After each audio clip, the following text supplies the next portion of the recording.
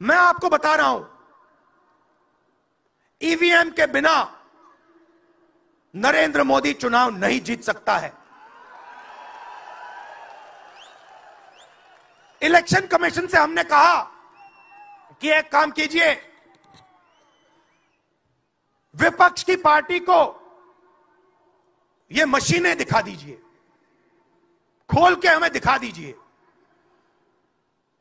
ये कैसे चलती हैं? हमारे एक्सपर्ट्स को दिखा दीजिए इलेक्शन कमीशन नहीं दिखाता।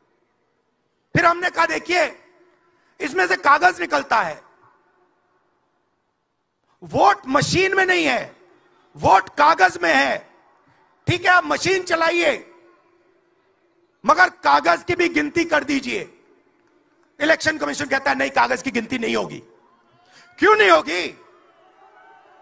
कैसे नहीं होगी? सिस्टम नहीं चाहता कि ईवीएम की गिनती हो जाए।